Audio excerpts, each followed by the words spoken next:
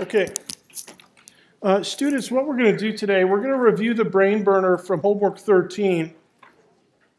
And uh, then we're going to push past it and talk a little bit about potential energy.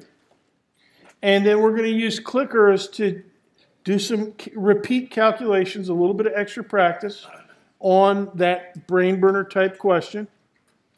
And then, uh, you know, a few more questions about it.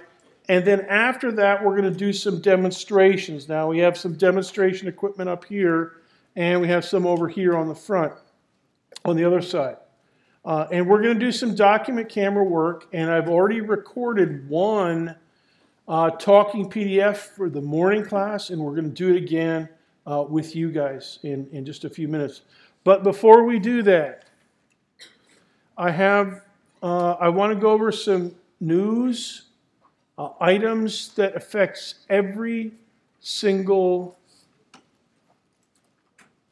person in this room. I can't be more serious about this. We must defeat TCU. And all, so all I can say is, let's go Knights. Hey, who went to the game last night? Oh man, it must have been. It looked like it was fun. It looked packed. Seriously, standing room only. Man, I tell you, Dedrick, we got your printout. Get it after class. After class. Yeah. See what I was. Dare see what I was saying. The two ROTC guys.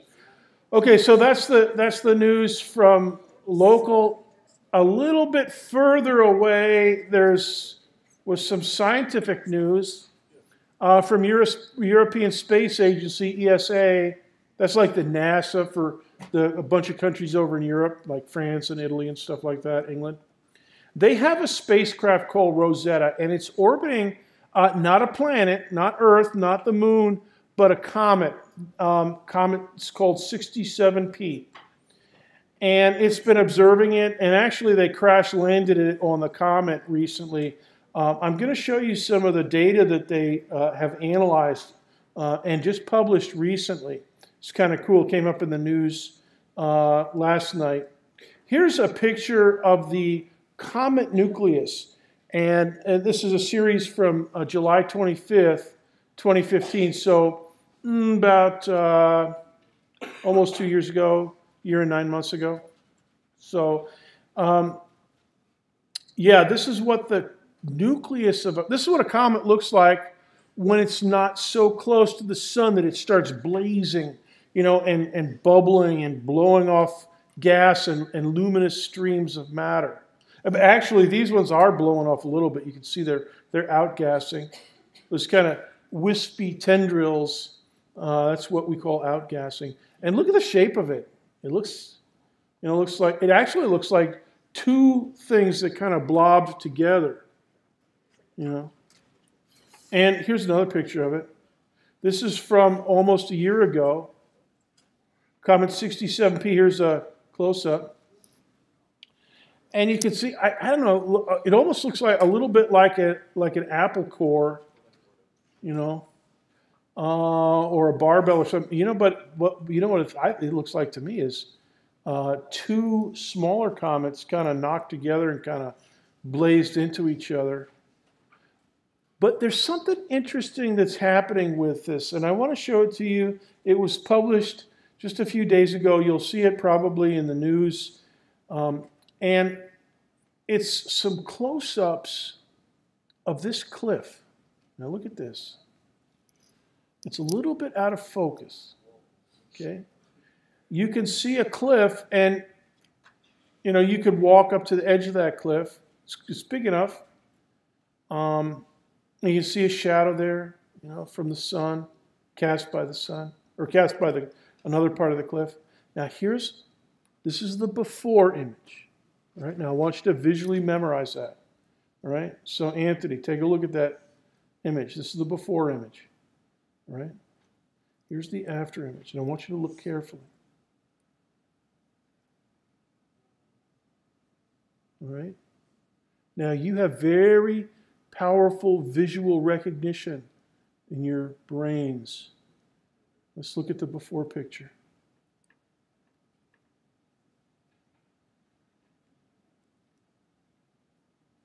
After. I see people. What do you see? Before, after.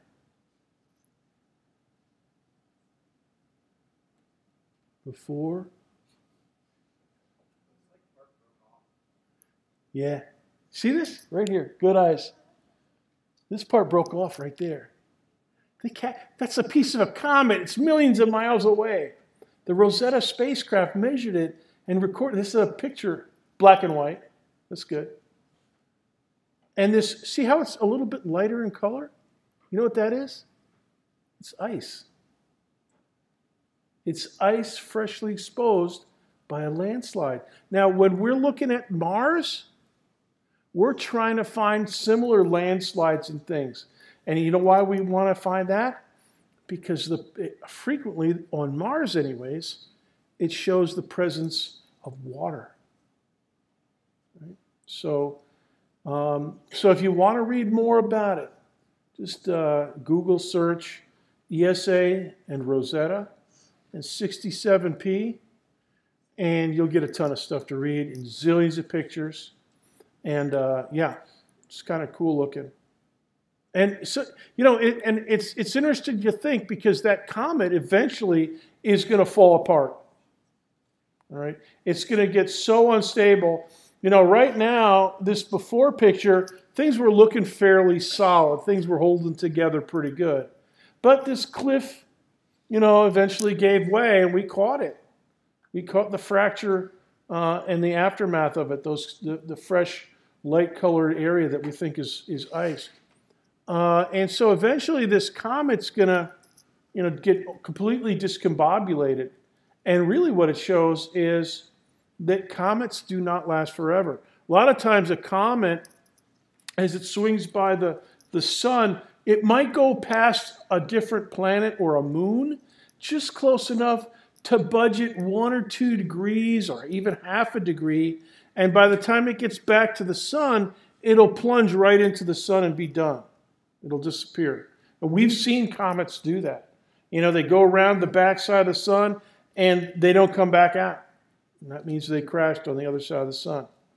Uh, Jupiter does the same thing. If you go by, um, like Saturn, a little too close, you get budged a little bit out of your normal orbit, you know, you might get um, absorbed by Jupiter, or vice versa. You know, Jupiter might budge the comet a little bit, and so the next time around, you know, a thousand years later, it might uh, zap into the surface of uh, Saturn. And we and Saturn and Jupiter uh, eat a lot, or sweep. We, what we the word we use in astronomy is sweep. They sweep a lot of comets, and of course, the sun sweeps tons of them, and has done so over the eons of time since the solar system formed. Anyways, kind of interesting to read about. Uh, it was all over the English newspapers yesterday, so I thought I'd just share you uh, with that. And as a side note, uh, if you still have another GEP science to take and you want to take astronomy 2002, that's taught by the physics department. I sometimes get that class, but usually they have a bunch of other guys teaching it. Uh, I, they only parachute me in at the last minute uh, if there's an emergency, but uh, they have a lot of really smart planetary physics astronomers in our department that teach it and they know all about comets, asteroids, uh, near Earth asteroids, the planets, Pluto, everything. And we got one international expert on set, like the world's expert on Saturn, on our faculty, Dr. Colwell. So, all right, let's double check the brain burner from homework 13. I had a couple students uh, message me in discussions about it. Let's double check it. Take notes and you're going to do a calculation in a few minutes uh, and just to see how you do on this calculation. Okay, so get your calculator out and your clicker, and the clickers are working today, so let's get, get down to it. Question?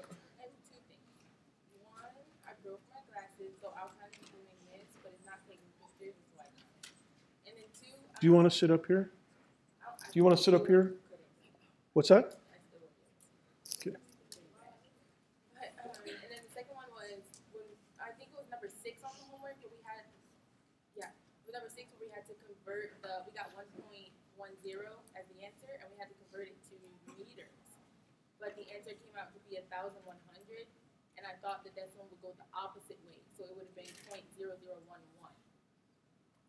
Because the meters are in the denominator, so it's actually multiplies by 10. Yeah. Let's, let's check this one out too, because this is a good one. It's similar. All right, here we go. So the, the homework problem, I had a, a- student message me. I'm not going to look at anybody. I Actually, she isn't here. Messaged me, Dr. B, I thought we were supposed to have eight questions. And I only see seven. Uh, But what she was looking at was the points. There were eight points because this problem had two points. Seven questions, six one pointers, and one two pointer. Anyways, so the, the, the setup was the following you, you get a hunk of jade attached to a spring. Now, for everybody, the dip was 10 centimeters down, delta y negative 0.10 meters. All right, that's for everybody. That was actually part of the diagram. And then everybody, you know, every time you did it, you got a slightly different number of kilograms of mass. All right. And so the question was can you use that information to figure out K, the, the uh, spring constant? And the answer is yes. And the key to that is to realize that the spring stabilizes the jade in midair, it doesn't fall. Its weight, if there, if there was no spring, it would just free fall down. But you've got the spring pulling it upward. So it, as long as you know that the object is stabilized, that tells you that the net force is zero. The forces will balance. All right? So if there's any forces on it, but it's not accelerating or you know it's just kind of sitting there, nice and stable, then yeah, you've got forces that balance. Left and right, if any, vertically up and down, if any. And let's take a look. Uh, we do have two constituent forces acting on this chunk of jade, right? So uh, we have some weight force downward, and we have this spring force pulling upward. Now, I'm going to put in a dot here to represent the center of the jade. Now, let me move that chunk of jade out of the picture. So here's my dot. And let's put an arrow downward for the weight force, good old mg, downward. So a certain number of newtons, depending on how many kilograms of mass. Okay. And we're going to use 2.1 kilograms here for an example, just a second. But anyways, we got that one. And then the other constituent force is the spring force, and that's pulling upward. The spring is pulled downward by the rock, by the chunk of jade. So the spring exerts an upward force. Delta y is negative, force is positive, upward. All right? Now, because they're stabilized or because the jade is stabilized, you know, you kind of ease it down. And so, so you don't want it to go, you know, boing, you know, up and down, you know. I mean, eventually that'll quiet down to zero, but, you know, just ease it down to, you know, just kind of till it's at its new equilibrium point. And you know that the forces balance. All right, so the net force has got to be zero. So if you have 10 newtons downward from weight force, you got 10 newtons upward for uh, spring force. And that's the key, because that will get us the value of the spring force. Camille. Uh, I also want to make sure if you wanted to change the y from centimeters to meters because k is supposed to be in newtons per meter. Or Yeah, K is newtons per meter, and, and actually this problem, it's stated in terms of meters. Oh, But verbally, I'm talking about centimeters and meters as well, so. Um, but yeah, when we do the calculation, we're gonna be in meters. Okay? Yeah. All right, so, let's work this example out. And you may have had this very value for the mass, 2.1 kilograms, all right? That's a good, nice piece of jade, you know, maybe the size of a, a baseball or so. All right. So, and we know how to calculate the, the weight force. If you know the mass, ding, 2.1 kilograms times negative 9.8 meters per second squared. And that works out to negative 20.58 newtons. Double check me. Make sure I'm not trying to. Okay. Anybody verify me? Good. I see one. Okay. Good. What's your name in the back again? EJ? DJ? Okay. You're always checking me back there. I can always, you know, it's good. You know, because usually the guys in the back row, they're back there screwing around on Facebook and stuff. But I'm glad you're a straight arrow back there. Good. DJ. So negative 20.58 downward. All right, spring force has got to be upward 20.58. Ding, because they balance. All right. Now, if you have a spring that's not strong enough, you might not be able to support that much of a, that big of a rock. The spring will break. All right? It'll, it'll extend so much, it'll try to extend and extend and extend, and eventually, bang, it'll break, which can happen. You know?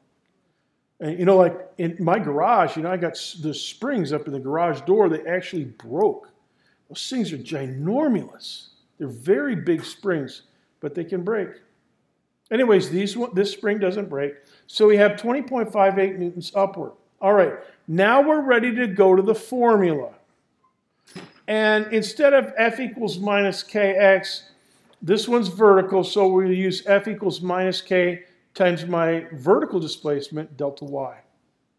And that's going to be a negative 0.10 meters. All right? So on the left of the second line here, I have 20.58 newtons that I got from my key.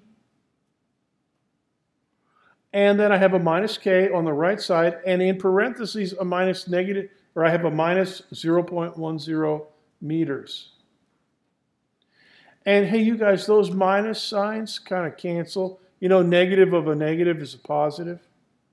So really, you can just write k times 0.10 meters if you want.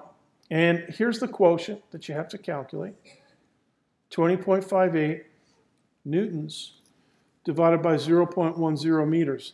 So now, Camille, when you're doing this, division by a tenth is the same as multiplication, Kamari, by 10. So divide by one tenth, 0.1, it's the same as multiplied by 10. So your answer here is just 205.8 newtons per meter.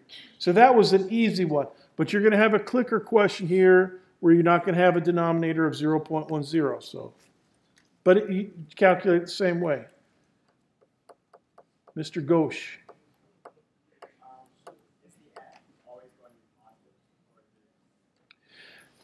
The question was, is the F always going to be positive? Oh, it just depends on the situation. If you have um, a horizontal uh, a horizontal spring and you push positive X, the pullback force is negative. So you just got to look at the layout. So I always go with the diagram first, and then I figure, okay, my, my spring force is going to be left, so negative, or my spring force is going to be up, so positive. And so that's, that's what I do. And you have to, as I've mentioned before, you know, like Camille was talking on the thread, Dr. B, is it always going to be a minus K? And I said, no, not if you take care of the uh, negative signs and the upward and down um, sign of the forces and the displacements. So there's your answer on that. K is equal to 205.8 newtons per meter. Now, I'd like to point something out to you about that, and this is going to bring us to the concept of potential energy. We're going to do a little calculation of potential energy. If you multiply K by some number of meters squared, you know, like 17 square meters, uh, then you're going to get Newton meters. Because K is newtons per meter, I mean, you multiply by like 17 square meters, you know, you're going to get some cancellation. You're going to be left with Newton meters. And hey, you guys, that's a joule. It's an energy unit. So we're going to use that now to calculate potential energy. spring potential energy. And make a note uh, in your, in your uh, notebook or your computer the formula for spring potential energy, 1 half kx squared. Right? We're going to use that. Right? So let's say that we have a spring, as I have in the diagram here, and good, nice, easy, round number, 2,000 newtons per meter for the spring constant. All right. And let's say that we stretch it out and hold it at 0.22 meters. All right? You know, just a nice round number. Elizabeth? What's that? EQ is equilibrium. Okay, so that's x, equals zero. All right?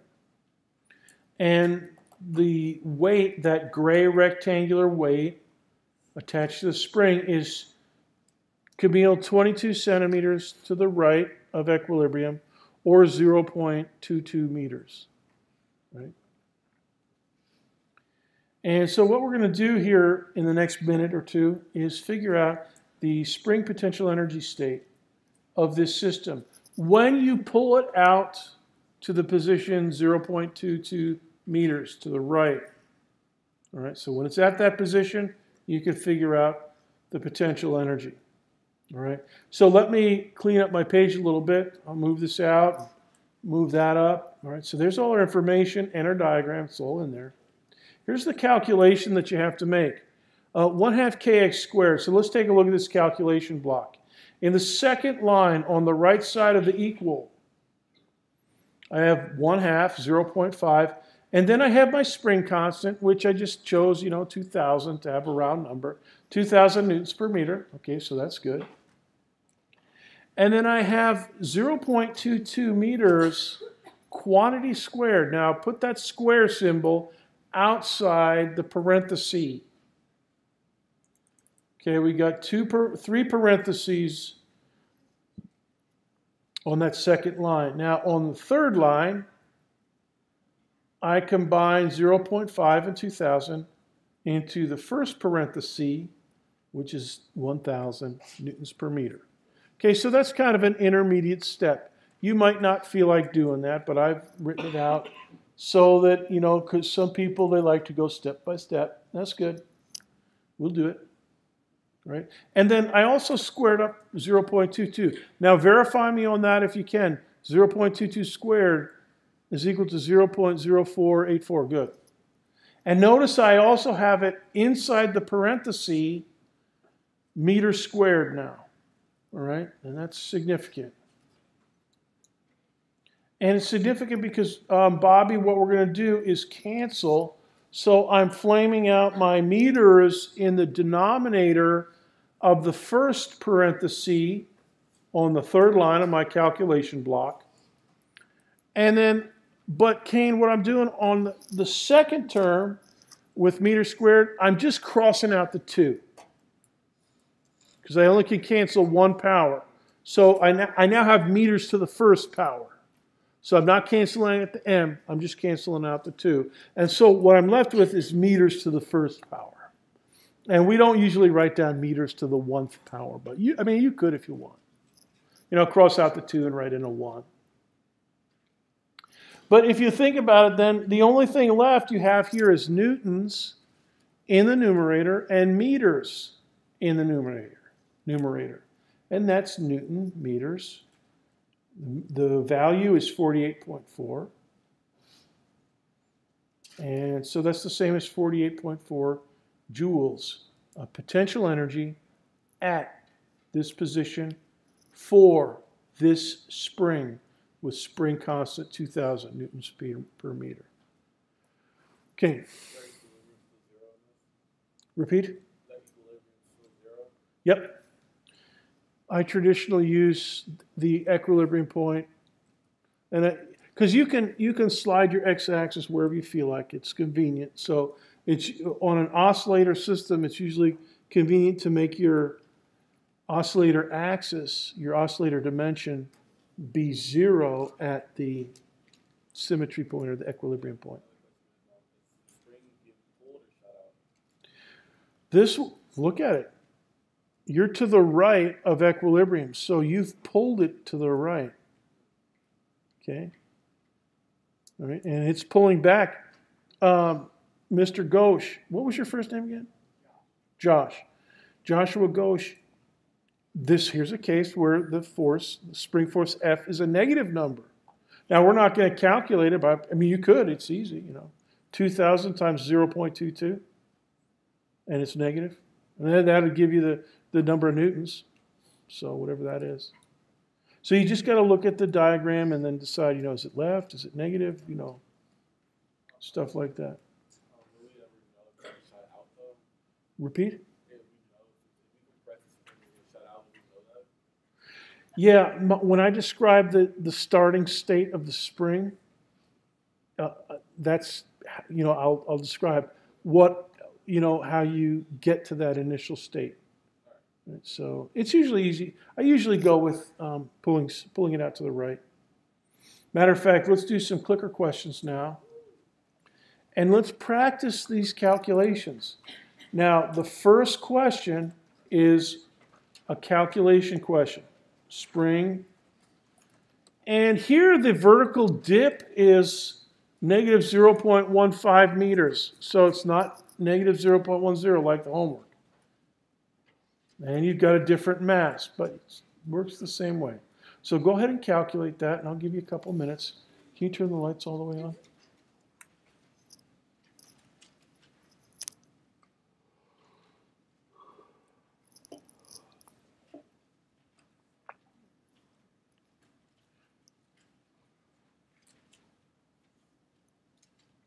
Ever teach physics one and two, like general physics? Do I what? Ever teach like general physics one and two? Like 2053, 2054? Um, yeah, last, no, two summers ago, summer of 2014, I taught 2053 in summer A. Six weeks. Oh my goodness. It was rough. I really, man, they worked. I, I, I worked those guys, and they worked like, you know, subhuman maniacs. I mean, it was. I was a subhuman maniac, and they were, you know, doing pretty good too. And but the, you know, they did really, really good. And I've given a bunch of them recommendations for jobs and stuff. Uh, you know, they, they've come, Dr. B, can you recommend me for this, you know, a scholarship or a job or something like that? So, boy, so yeah, I do. It's if you take it from me, if you take it from me, you'll be fine. But any other student, boy, oh boy, they'll work. But it was good because they, they did really good. You know, plenty of groaning and complaining and stuff. That's normal, I guess. But boy, they, you know, when, when the chips were down for exams and stuff, they just, they just like these guys. These guys work hard too. That's what I like about UCF.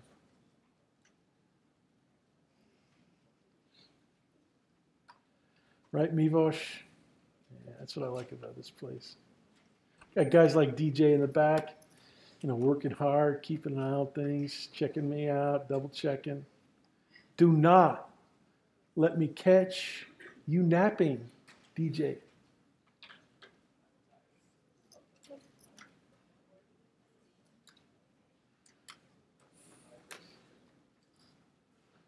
Yeah, so the answer is, but I, this summer I'm going to be teaching uh, 1121 online.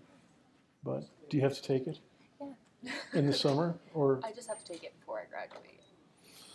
So, Yeah, which who knows when that's gonna be? you know, that would be, I'll tell you, yeah, I know, you can't finish UCF. That would be a tough semester for me if I was teaching this one big section of this and another big section of that. But I can ask around who are the good, well, you can ask around who are the good instructors. You- Have you, have you heard anything? You haven't heard about Dr. B, the notorious Dr. B? Most of the things I hear about you, I hear about in this class. So.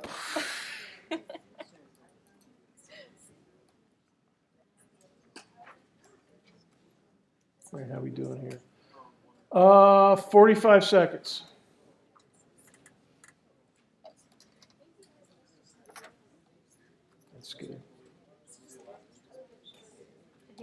think about the same as last class, actually. Really? Yeah.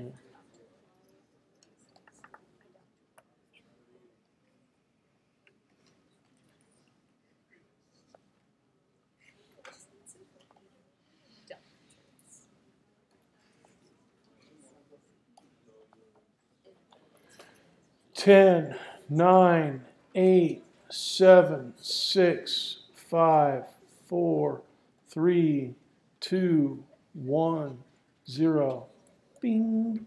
Uh, you guys are pretty good. Answer is 65.3. Here's the calculation of most of you got it. Uh, a few of you didn't. About 30 of you did not get it right. But um, you put in the displacement negative 0.15 meters. Oh, you see where I made a mistake with my formula? F equals minus kx. It should be F equals minus k delta y. It's all right because it's the- it's the same philosophy, but you could write that down as minus k times delta y. Did you have a question, Lexi? How did you, can you explain the sign, that like the signs negative and positive? The spring is, the displacement of the spring is downward. So that means the pull of the spring is the other direction, upward. All right, so the left side here is going to be a positive number of newtons, 9.8 in this case. All right? The minus sign from the minus k is always there by definition. Now, your displacement in the parentheses it could be positive or negative. It just depends on, and in this case, it's negative. You have a dip. You know, you attach the, the rock or the, or the weight, and it drops a little. In this case, by 15 centimeters downward, negative 0.15 meters. Okay, and then you just let the, you know, here you, you can cancel them right there if you want. You know, and then you have positives everywhere. And, and then that's your calculation. Another question? Yeah.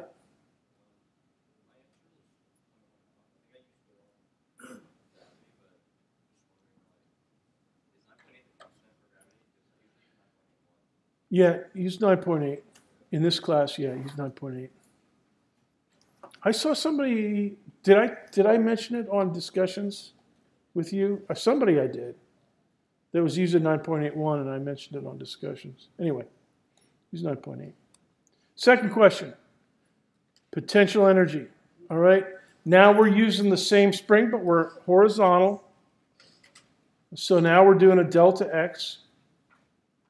Okay, I'm, I'm moving out to 0.40 meters. Calculate the spring potential energy at this position. Can you start this question, please? And then turn on the lights. Now, this is using 65.3 newtons per meter for the spring constant. And position X is 0.40 meters.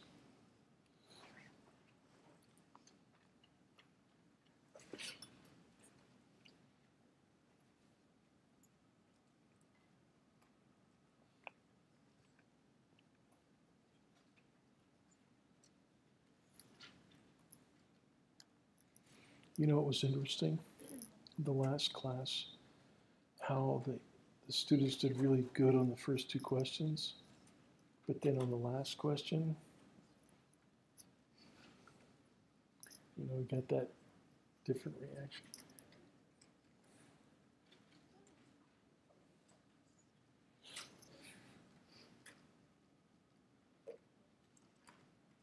Who's that, Christine? No, this is just Chris.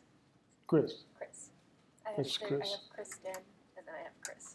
This is just Chris. I can't keep track of all your friends. No, I'm so popular. I know.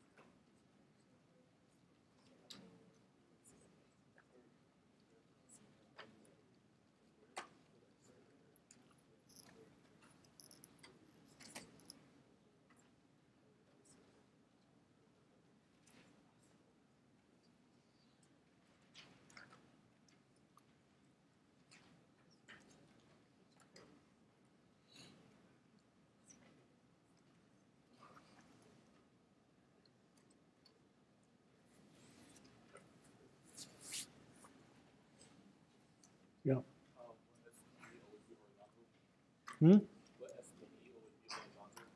No, we could have do we could have done SPE for the uh, for the hanging piece of jade. Any oscillator. Uh huh. Yep.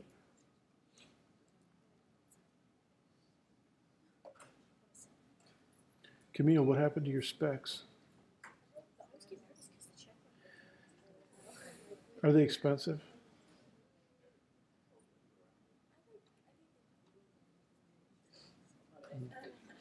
See these ones I use? These ones? Like four dollars at Walmart. That's all I need. Yeah.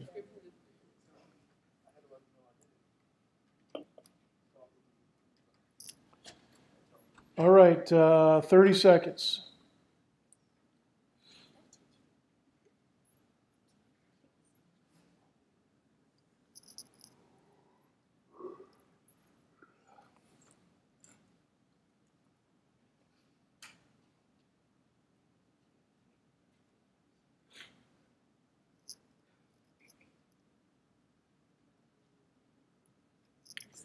Ten, nine, eight, seven, six, five, four, three, two, one, zero.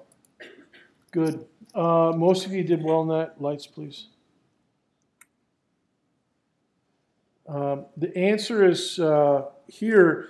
Your calculation 0.5 times the spring constant, and my intermediate value 0.5 times 65.3 uh, 32.65 newtons per meter. And then 0.40 meters quantity squared down here on the third line of the calculation block, 0.16 square meters. And then just calculate them together. Question?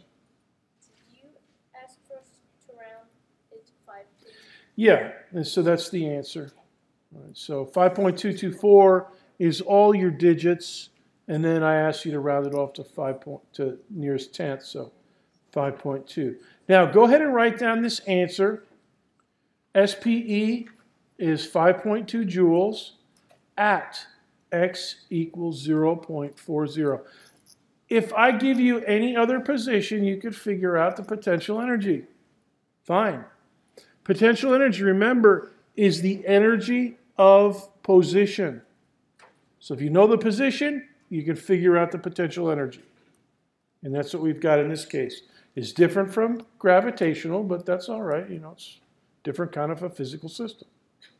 Now, next clicker question, hit the refresh key because this one's going to be multiple choice. And uh, question from the left side of the room. Um, and maybe obvious, I'm not picking up, but how did you go to, from zero point forty to zero point sixteen? Squared it. But then why, why is the squared still? You square the 0.4 and you get 0.16. You square the meters and you get square meters. Okay. Okay? You got to square both. Okay. All right, question number three. If the spring mass system has 5.2 joules of SPE at 0.40 meters position, how much does it have at 0.0?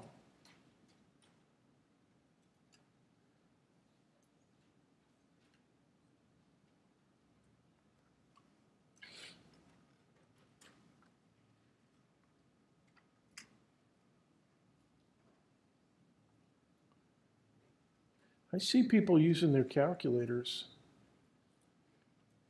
but actually,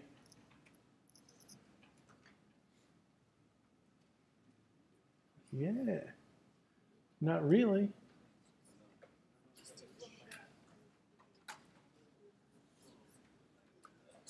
Twenty seconds.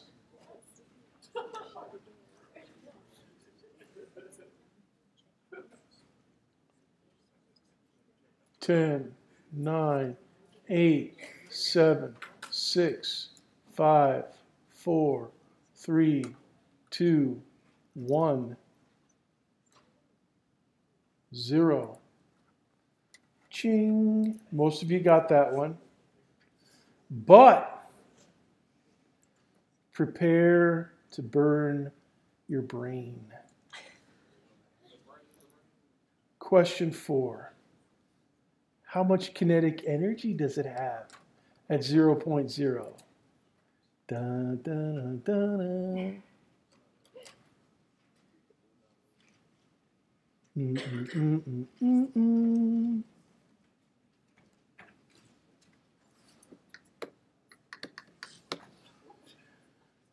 Very good.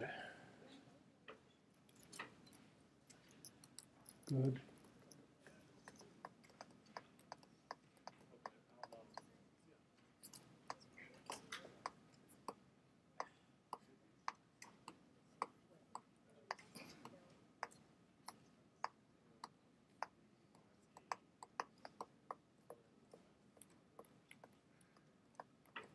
David, you look real relaxed. Is this easy for you? You're thinking? All right.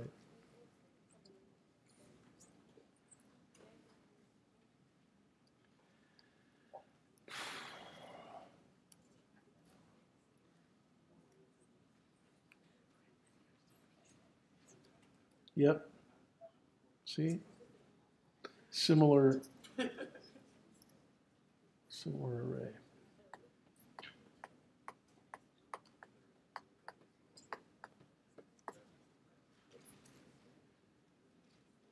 Thirty seconds. Decide.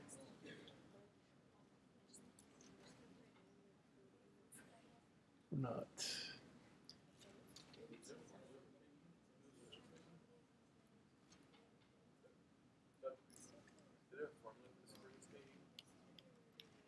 Springs KE, yeah.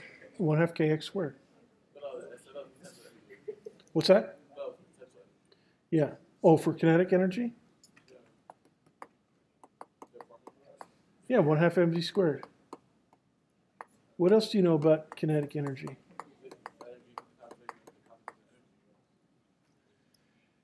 Ten, nine, eight, seven, six, five, four, three, two, one, zero. Let's display the results. My wonderful students, look at this. There's a, there's a little bit of explaining necessary. Some people voted for A, some for B, some for C. Go to the uh, laptop, please. Thank you. Correct answer is C. Now, here's the reasoning. And up here in the front row, they were saying, Dr. B, what is this about energy and stuff? And they eventually figured out, yeah, conservation of energy. So make a note the conservation of energy means that if you lose some kinetic, you gain, or excuse me, if you lose some potential from 0.40 all the way into equilibrium, 0.00, then you gain kinetic. If you lose kinetic on the way back out to the left or to the right, you gain potential energy. All right? So if you if you had and and notice that the way that I set this up, you pull it out to 0.40 meters and when you're out there at 0.40 meters, you're holding it zero kinetic energy. So minimum kinetic, max potential at 0.40 meters. But back at equilibrium, the previous question, zero potential energy. Therefore, max kinetic. So make a note. In the physical system of an oscillator, the symmetry point or the equilibrium point is going to be max kinetic energy. So max kinetic energy, maximum speed. Right?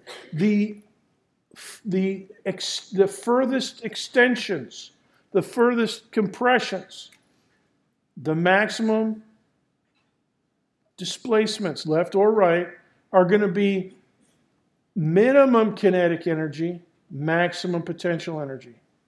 Those are the, called the turning points of the motion. Now, in free fall, for a baseball, You know, in free fall flight, you know, a ballistic arc, there's a turning point of the motion. We call it apogee. It stops going up and it starts going down. Same thing with the oscillator. It stops going right and starts going left. Then it stops going left and goes back to the right and zips back and forth. Now, we're going to do some demonstrations now with a pendulum and then with some sound waves. And uh, we're going to actually make uh, a study of oscillation. Question?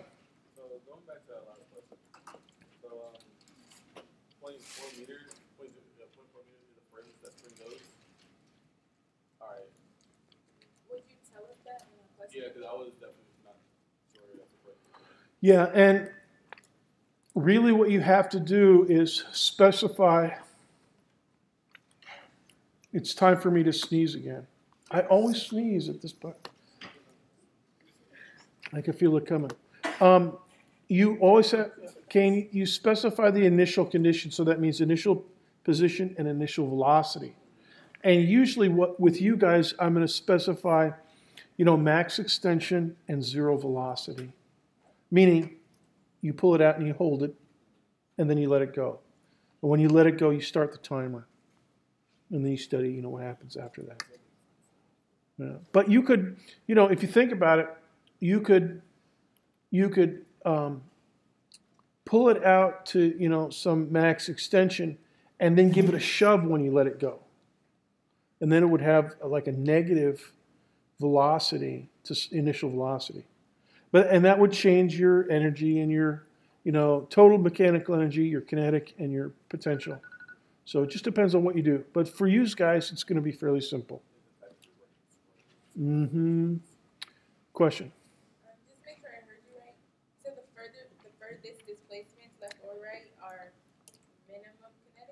Correct. Furthest displacement, either left or right, is minimum kinetic. And for us, it's going to be usually zero kinetic energy. Rest. A turning point in the motion. Okay. Um, I'm going to ask for four volunteer timers up front. Um, can you turn the lights on? And I'm going to stop the podcast here. We're going to do some document camera and talking PDFs in just a few minutes. But before we do that, we're going to do some demonstrations. And let me get my cursor here.